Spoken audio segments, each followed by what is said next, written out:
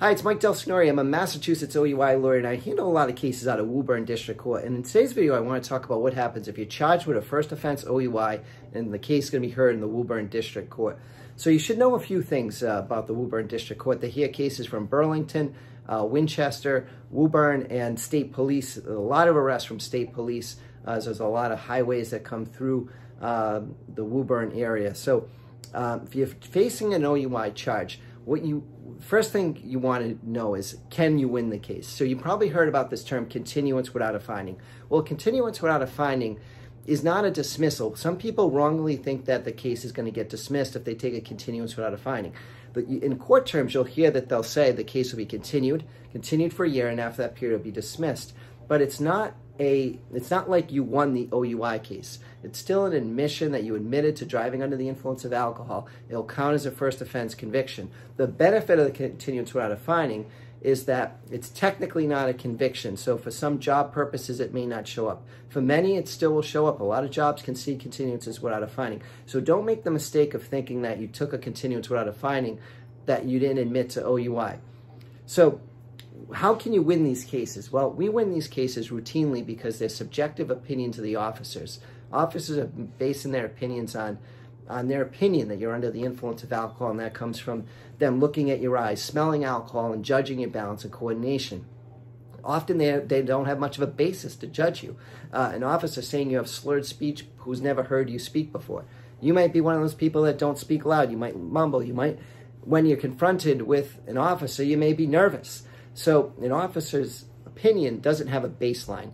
Um, they might say you're unsteady on your feet. Well, an officer needs to know what's your balance like norm normally. Do are you someone that has medical problems uh, with your knees, legs, and back? And this is all things that we can present to the court to show that the way the officer arrived at this opinion that you were under the influence of alcohol wasn't based on sound evidence, wasn't based on science, and shouldn't be trusted when you have to prove the case to the high degree uh, they have to prove it in court. So to arrest you, they need a very little, a low level of proof. It's maybe at your kneecap.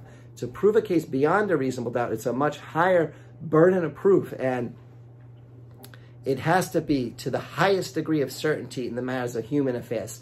Think about how you, you, you go about your day every day and how you probably have gone about today you probably never had to make a decision to the highest degree of certainty. When you make when we make decisions in our life, we make decisions about what's practical, what's better. We don't make decisions to the highest degree of certainty in the matter of human affairs. If we did, we wouldn't be able to make uh, decisions. So keep that in mind that a criminal charge has to be proven to this high degree of near moral certainty for it to be proven beyond a reasonable doubt and you're presumed innocent on the charge. So why is this opinion? These opinions are, are very subjective, um, and officer, officers often don't perform the field sobriety test correctly. So it gives us as defense attorneys a lot of ways to fight and challenge these cases in court. We can, one, challenge the way the officer administered the field sobriety test, show that they didn't do it according to their training. A lot of officers think you got to lift your leg six to eight inches off the ground, the one leg stand. It's, it's really only six inches. So they're, they're telling people to lift it higher than they're taught to in the train. A lot of officers don't remember that you actually don't have to bang your feet together on the nine-step walk and turn. There can be a space between your heel and toe, and it's not counted against you. Most officers don't remember that. So you have these tests that they give, and they kind of just give their own spin on them. They're not giving them according to their police training.